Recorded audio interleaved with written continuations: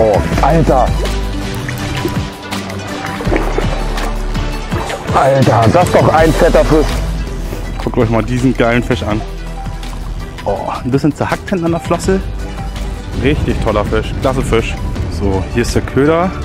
Unser Blade Bite in 21 Gramm. Als Trailer habe ich hier einen 12,5 cm Bultis.